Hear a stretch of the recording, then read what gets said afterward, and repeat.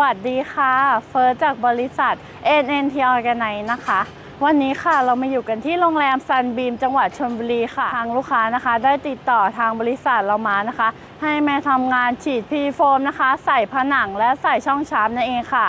และการทำงานจะเป็นยังไงเราไปติดตามรับชมกันเลยค่ะ